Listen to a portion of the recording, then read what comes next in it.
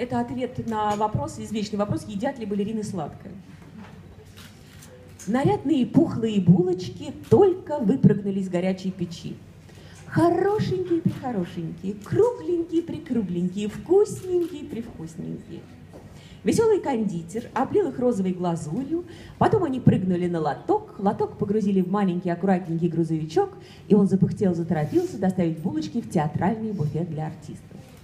В буфете булочки радостно уселись в витрине и заулыбались всем вокруг, словно говоря, «Съешьте нас, мы очень-очень миленькие». Народу было много, буфетчица еле успевала подносить, наливать и накладывать. Но вот в буфет вошла компания длинноногих девушек, одетые в разноцветные вязаные комбинезончики. «Ах, какие чудненькие девочки!» — подумали булочки, прямо эльфы. «Кому же мы достанемся?» «Не хотите ли булочек?» — спросила толстая буфетчица Зина. «Ну что вы, Зина?» — строго ответили девочки-эльфы. «Балерины не едят булок».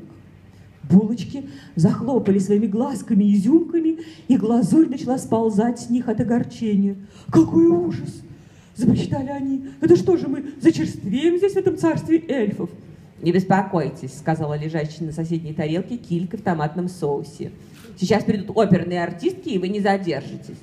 И действительно, двери распахнулись, и в буфет вошла громкая компания милых, жизнерадостных женщин.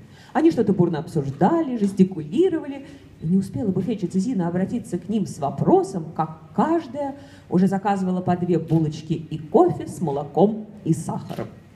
Все они расположились за соседними столиками. Девочки-эльфы и оперные артистки.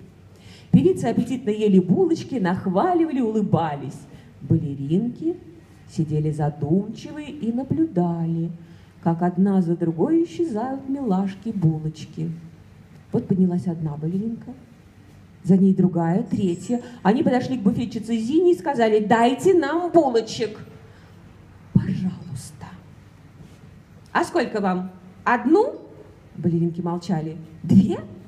Три? Нам все оставшиеся выпалили балеринки, теперь они тоже улыбались. Thank you.